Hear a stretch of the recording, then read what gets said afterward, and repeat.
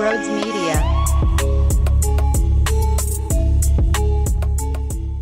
What is going on, everyone? Big win for the Eagles. We're going to talk about it all and break down the madness. But first, if you're new to the channel, hit that subscribe button, hit the thumbs up button. We party every day here talking about Philly sports. I don't know party's the right word because sometimes it's devastating, but you get my point. Make sure you come join the party here. And look, if you're looking to buy tickets to any NHL, NBA, NFL game, you can go to SeatGeek and use the promo code BRODES at checkout for $20 off. You're basically eliminating the fees right from there. I'm giving you $20 in my hands. Take it from me. Get yourself to a game today. It is simple. Promo code BROAD, SeatGeek's checkout page. With that being said, enjoy the show.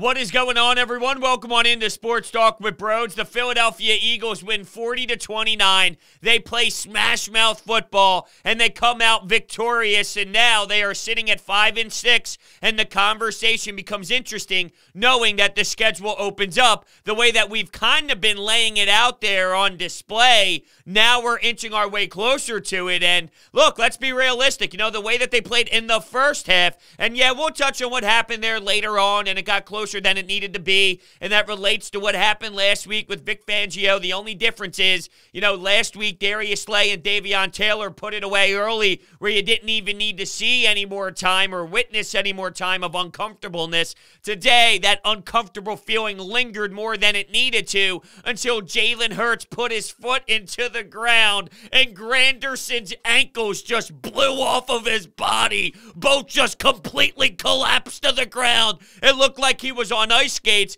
That eventually happened, but you know, there were times where you wondered, uh oh. And how about what the hell was Sean Payton thinking kicking that field goal? And I think what it really tells you is I have no faith at all in my quarterback in Trevor Siemian, which I thought was a little weird just considering. I don't think it's weird to not have trust in him. Trust me, he sucks and he's horrible. I don't want to hear what he did in previous efforts this season. He's not very good. You saw that when Jonathan Gannon brought some pressure, Avonte Maddox, Alex Singleton throwing blitzes his way, and when you don't have any playmakers out there, when your offensive line is in shambles trying to hold their own, that's the result you're going to get. So maybe it's just by like default. I don't know what you want me to do because nothing has worked with this guy all game long. But I thought the third down call before that was a little weird on the third and nine. Like it, it set up where it looked like they were going to go for it on fourth. But regardless, my point is let's focus on the positives first.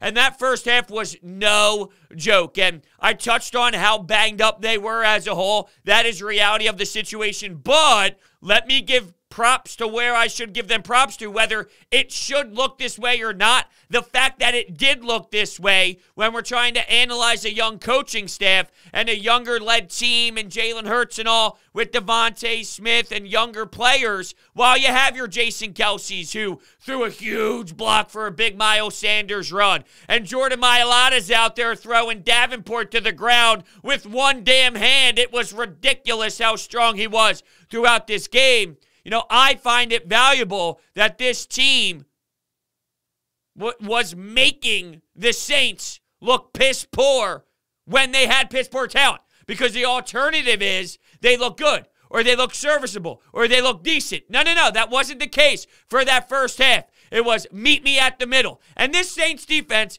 they are good. They are respected. They have talent. The difference is Jalen Hurts' ability you know, some of those plays when you saw the replay of, of Sanders and and um, Jalen Hurts and the way that he kept the ball right there in the breadbasket for one Mississippi, two Mississippi, three Mississippi, waiting for the perfect time to either pull it and run himself or hand it off based off of what the defense was doing. It was very difficult. And I thought Jalen Hurts handled those moments very smoothly.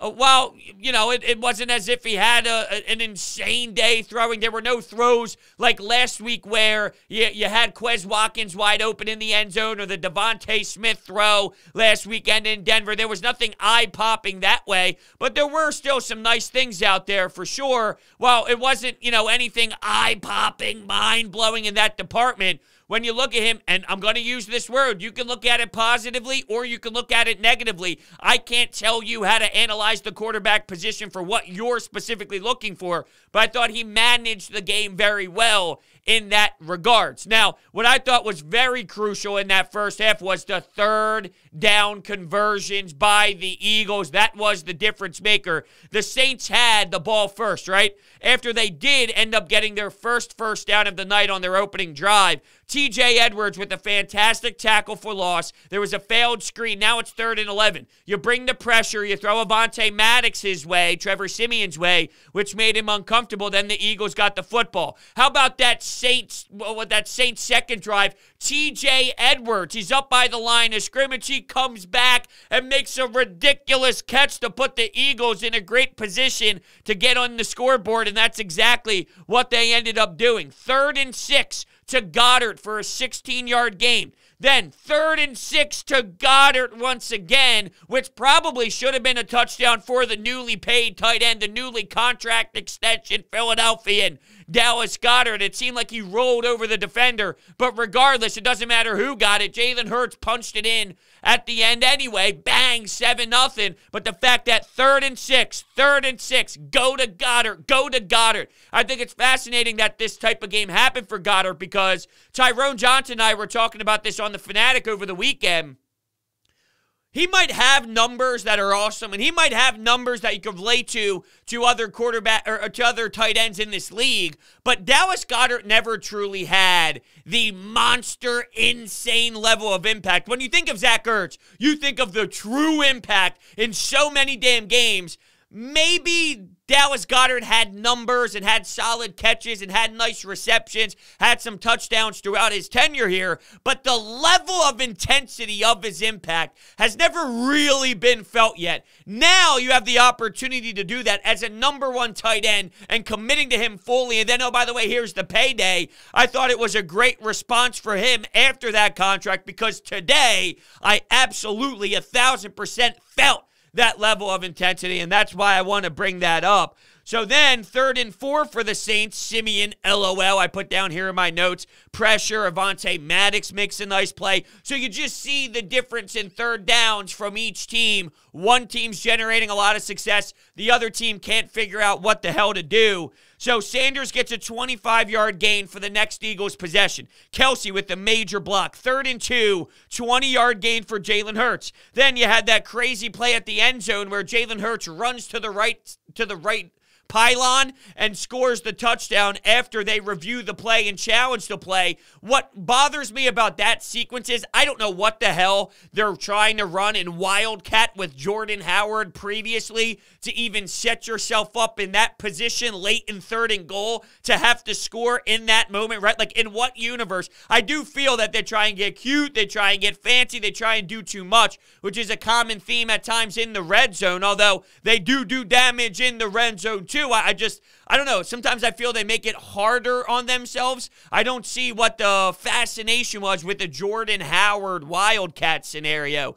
But anyway, regardless, they do punch it in. Jalen Hurts, the way he was able to run to that right pylon to, to even put the ball over the pylon before he stepped out of bounds to make it 14 nothing. Let's not forget about the third down conversions throughout that drive. That was clearly a huge part of it. We roll into the second quarter. How about this? Third and eight at about midfield. Trevor Siemian just throws the ball right in the dirt. Now, did Josh Sweat get his fingertips, whether it was on the forearm or on the ball. Maybe it did seem like in the replay that was the case, but once again, pointing out a third down. Let's go to the Eagles. When the score is 14 and 7, because on third and goal, but it was pushed back because of a penalty, they had to go 18 yards. Trevor Siemian finds a beautiful seam, I should say. I mean, it was a great throw. TJ Edwards was in coverage.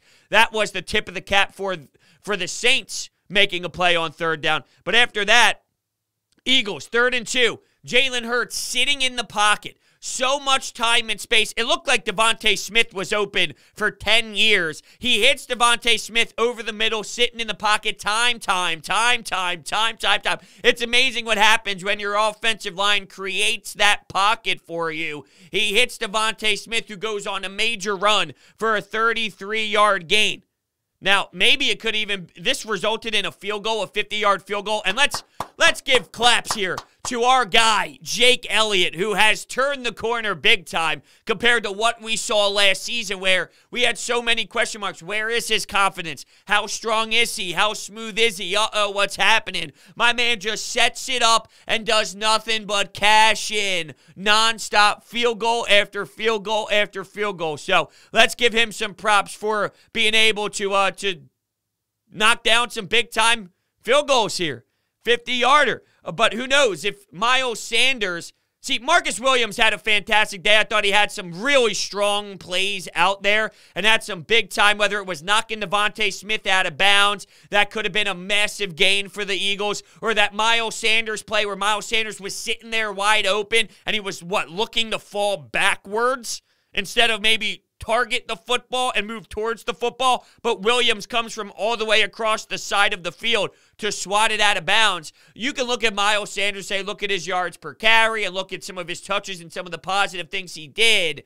I- am going to be honest with you. I'm a little bit disappointed in the overall Miles Sanders based off of putting the ball on the floor for the Saints to even score their first touchdown. That's unacceptable. That cannot happen. Then he does it again, but because his forward progress was stopped, Malcolm Jenkins was yanking it out. There were four or five guys trying to just strip the football out of his hands. Maybe it was the right call. It seemed to kind of be the right call, if I'm being honest. But my point is, that is unacceptable. Out of Sanders, and I thought that play where he was trying to fall backwards and Williams broke it up, that's on him as well. I don't have a problem with Nick Sirianni going back to Sanders. This is professional sports. This isn't little Jimmy, little league where you make one mistake and you're never going to see playing time again, this or that. Like, this is Miles Sanders. This is a guy who is highly regarded in the league, highly regarded on your team. You drafted him high for a reason. You know that he has a special skill set. You put the football on the floor, you give him a chance to redeem himself. I'm okay with that. Honestly, I look at that as good coaching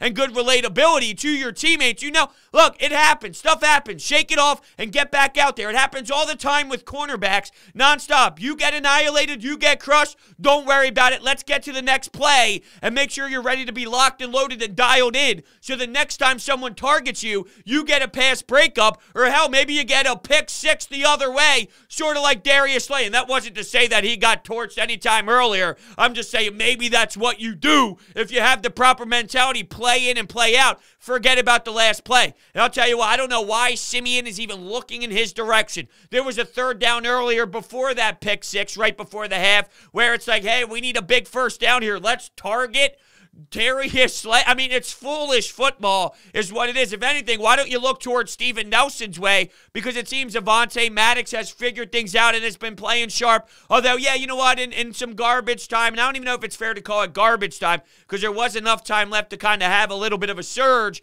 But late in the game, yeah, you know what? Rodney McLeod and Avonte Maddox, there was a throw that kind of went right through both of them. But ultimately, Steven Nelson's the guy to go after, no? It's foolish. It's bad. And, and so is Trevor Siemian, to be fair.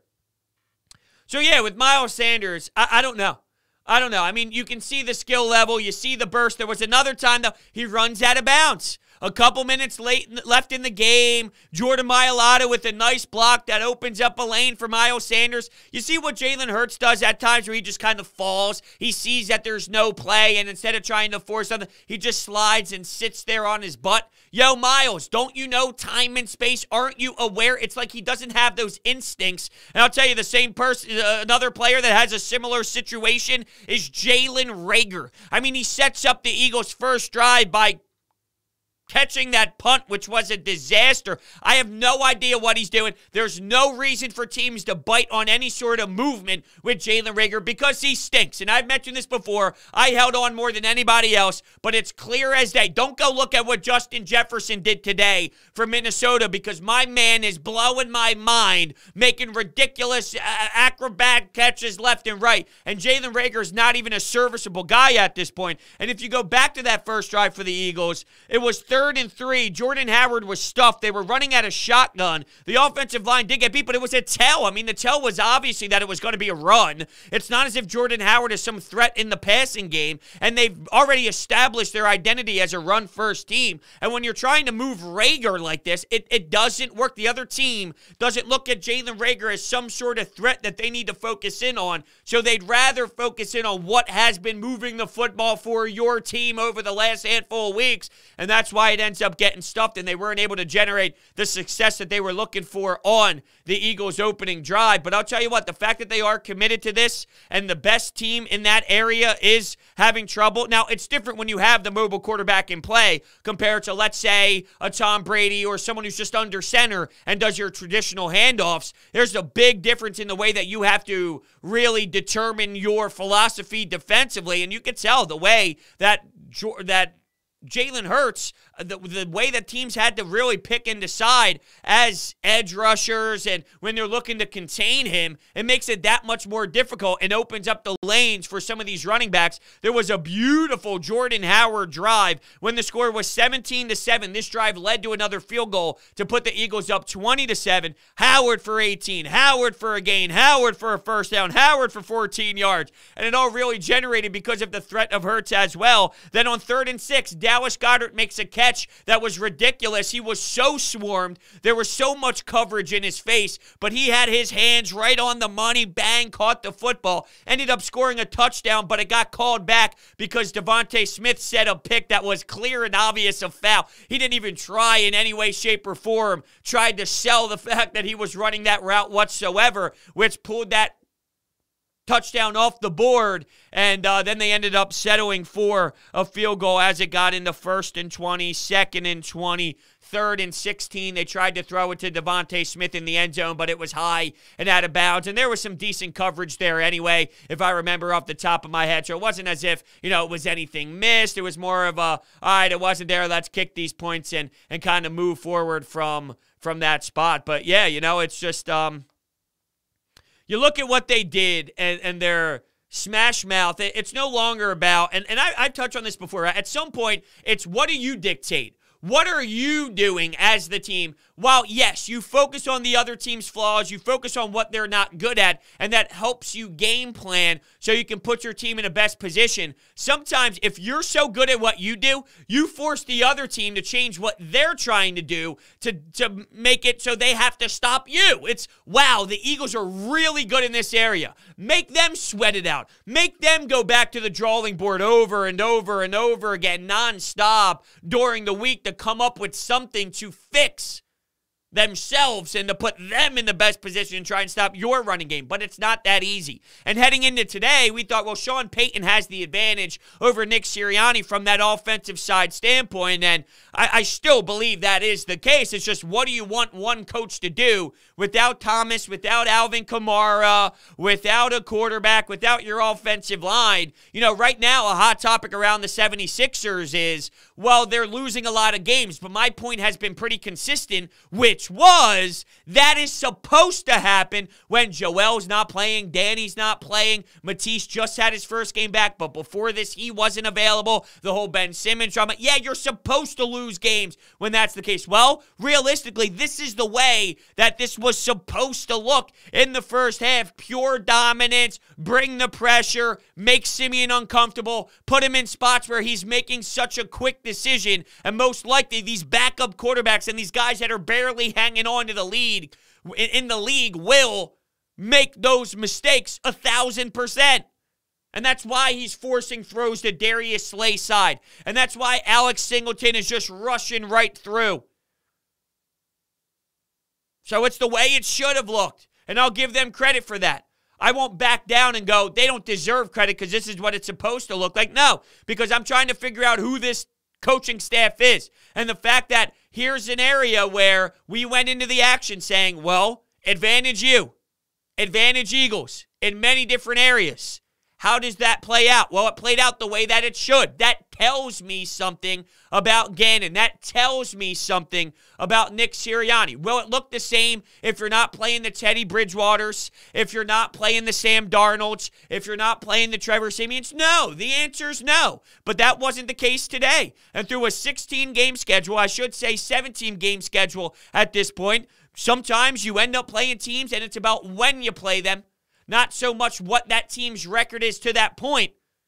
And right now, you're playing a team that is very vulnerable, and you were finally at home ready to win a game, and the crowd was electric. That woman who was clearly pissed off. I believe, I'm sure everybody saw it on Twitter. It's the one woman that that mouthing something along the lines of, "You got to be fucking kidding me," or "That's fucking bullshit." I forget exactly what the phrase was, and I love finding out later on that this woman somehow started Google, or she's like the president of some huge corporation who just gets shit bombed on a Sunday afternoon after drinking 32 Miller Lights in the parking lot before heading into the Eagles game. I believe that was when it was Javon Hargrave who got called for that awful roughing the passer call, which helped the Saints have some life and generate a little bit of noise there. But here's what I'll say about that second half. Actually, before we get to that, let me tell you about my friends over at DeSimone Jewelers. They are my jeweler.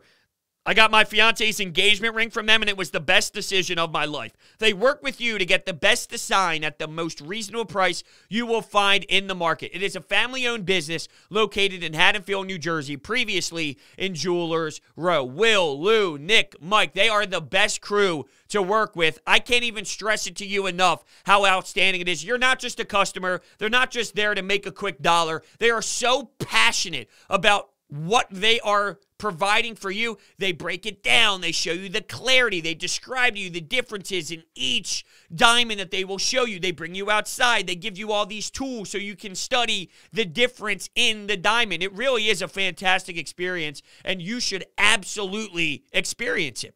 Uh, they provide custom jewelry design, jewelry repairs, appraisals, watch repairs, diamond setting, jewelry cleaning, and so much more. Make sure you check them out down below, DeSimoneJewelers.com. Tell tell them that Brodes sent you. So in the second half, I just can't pretend that what happened last week it was not real, and what happened this week was not real. There's something about these second half adjustments that is really hurting this team. Now, Darius Slay ended up leaving with the concussion stuff. Davion Taylor was unavailable for you, so you were losing guys. Anthony Harris and McPherson are out there trying to make plays, and it's difficult for them to do so. I'm with you. I understand that you did lose some talent in the back end, but ultimately, all I'm saying is last week, without that play by Taylor and without that that fumble recovery brought back to the house by Darius Slay. In three pass attempts, two of them should have been extremely picked off by the Denver Broncos. And Vic Fangio brought out a whole new look, a whole new brand identity with this zone instead of bringing the pressure the way that he was in the first half.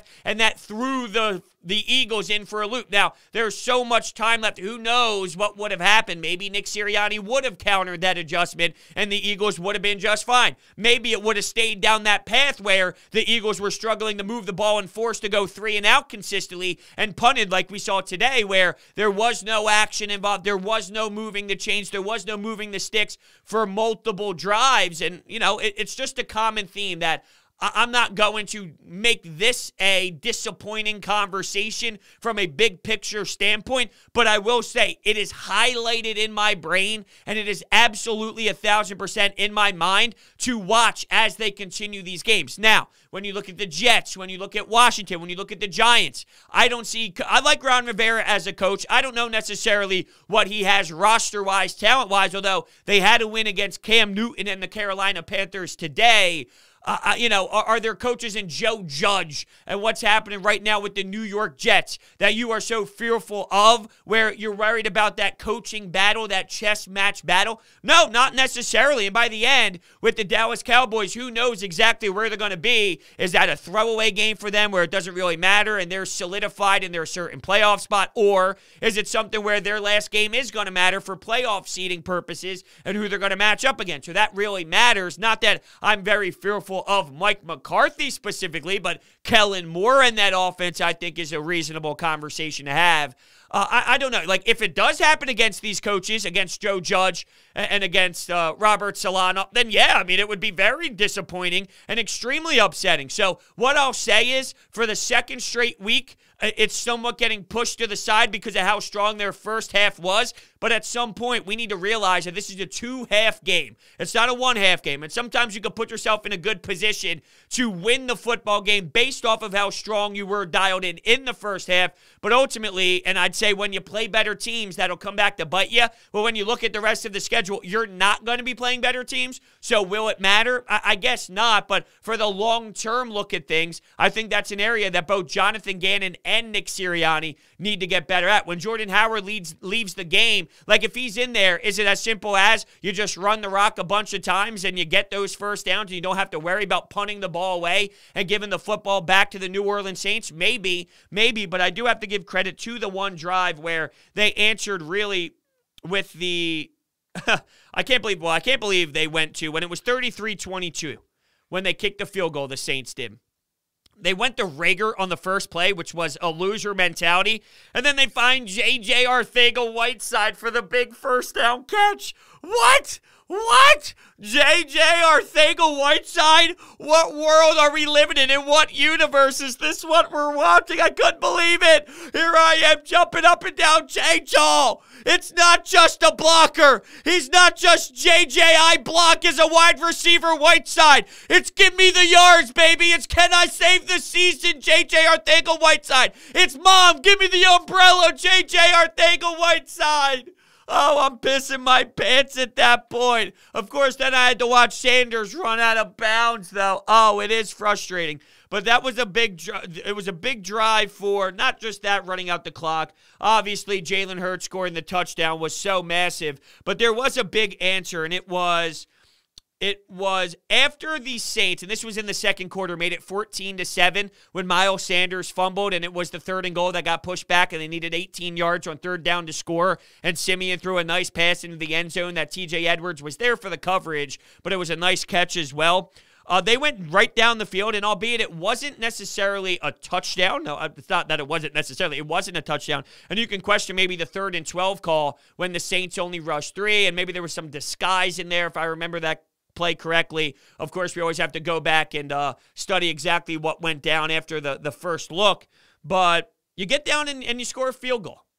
And I know it's not anything massive. It's not responding with a touchdown, but it's responding with points. And I value those points in that situation. That uh, that matters to me. It absolutely a thousand percent matters to me. So what I want to do right now is go to um, Nick Sirianni and hear what he kind of had to say after the game. There are different ways to be physical. Receivers can be physical, and the tight ends can be physical, and backs. It's a style of play. Tough guys on this team. When you get on the bus to go to a game, you never want to go to a game without your guys that are tough. Well, yeah, they definitely play tough. I mean, that's absolutely a thousand percent the way that we define this team right now. When you're going up against them, it's damn. Here we go. It's going to be a battle. I got to bring guys down to the ground. They're going to get those yards and put themselves at third in a, a, reasonable distance. And you know what? It's kind of laid out perfectly with what I thought it was going to be with the preview podcast. I said, look, normally we've been seeing them get into third and two, third and three, third and one, third and manageable, which at times it did happen today. But knowing how strong the Saints defense is, what happens when it's third and six? So, yeah, you are getting some yards there to set yourself up for not necessarily third third and long, but not third and one either. It's more third in that middle range where bang, you're finding Dallas Goedert. Bang, you're finding Dallas Goedert. Bang, you're finding DeVonta Smith for a 33 yard gain. So, you know, they were able to execute the third downs. I remember watching that first quarter play out, the first quarter specifically, and it bled into that second. You know, wow, there's something to be said about their conversions in that area, and that keeps your team on the field. It keeps the other team off the field, although I'm not very scared of Trevor Siemian and that offense gaining more time.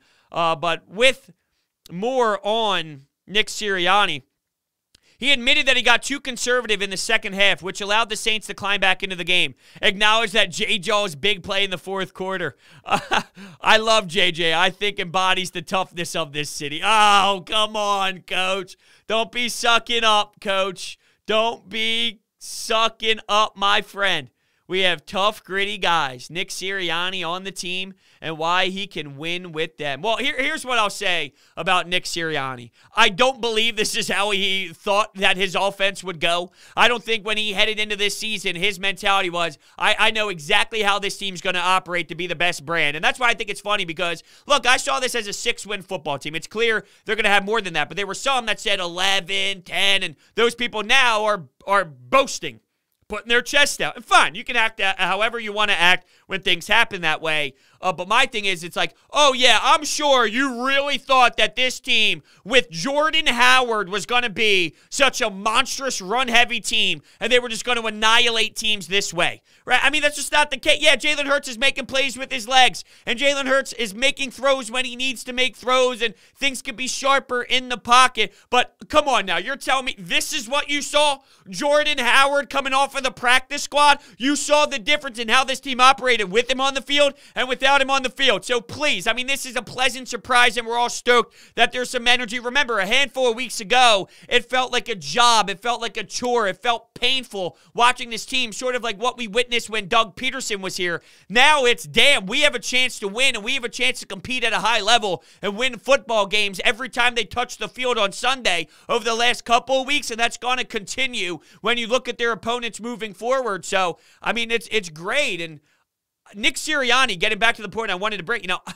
I, I, give him credit because he's willing to adapt to this, where I don't know if many coaches would. Some coaches would think, no, no, no, we're going to pass, we're going to pass. This isn't my lifestyle. This isn't the way that I handle things. I normally play this a different way. Uh, no, no, I'm not going to commit. But he saw the progression. He saw how it helped the quarterback as well. The quarterback had too much on his plate. You don't throw as much, you get more. You ask for less, you get more. The ability, or I should say, the opportunity to make mistakes aren't as high. You limit those opportunities to make the mistakes. And he's cashing in on the plays he needs to make. Making plays with his legs. Wasn't perfect, but it was good. It was damn good. And I'm just excited to see this team buy into this. Now, when you ask Nick, hey Nick, what's your uh, what's your identity? You think he's going to give us a well? I don't know if teams know their identity by now. You know, everyone kind of has to learn their identity each week. You ask a lot of these coaches, they'll say they don't know. Nick, that's why we laughed at you in the past because that was a stupid answer because teams do have identities and they know what they're all about. And if we asked you what your team identity is, you'd say this. And let's not act as if you know now because it's been 11 weeks. You've only been running the football for a handful of weeks. So when we asked you that question in the beginning of the season, it's really been the same amount of games of actually establishing this style it hasn't been the full 11 weeks. It's only been a handful of weeks. And that's when we asked you the, the question originally. But I'm liking Nick. He's trending in the right direction. Gannon, still have my concerns when you're not playing the Siemians, when you're not playing the Bridgewaters, when you're not playing those style of quarterbacks, the Sam Darnolds. I have my concerns, but we'll see. I'm not saying it's impossible for him to take this information of third downs, blitzing, sending pressure, Maddox, right? I'm not saying it's impossible, but is it the same way if there's a competent quarterback on the other side with an offensive line that doesn't have insanely injured offensive linemen, both tackles and, and linemen in the interior and all? If they're a structured group, does he have the confidence to send the same style? I hope he looks at this and, and, and shows himself that there's some sort of success that could generate from it because it's not rocket science, but I don't know if you can get away with it to the same level either. We'll find out. I'm excited, though. It's a good win. It's a good win. It's a good win. Before I let you go, let me tell you about WinView. Are you tired of getting fleeced by the house? Are you tired of spending time researching players and teams only to end up short? Welcome to WinView. WinView is the only app where skill elevates you into the competition and into the money. Forget about spread, salary caps, and over-unders. All you need to do is answer questions about the game that you love. They have a deposit bonus right now that they are doubling up to $100. For all first-time users, if you deposit 50, you'll get 100. If you deposit and spend 100, you'll get 200. This is the perfect bonus to take advantage of during the NFL, MLB, NBA, NHL season. Answer questions. That's it. It's so simple. You answer questions about each game. Guess what? I'm becoming a sneakerhead. I'm nonstop on StockX, on the sneakers app, on GOAT, and I can't stop buying shoes. Well, why am I getting, or how am I getting that money, I should say? Oh, thank you, WinView. That could be you as well. Check it out down below, winview.tv slash brodes. I want to thank you all so much for listening, and I will see you next time.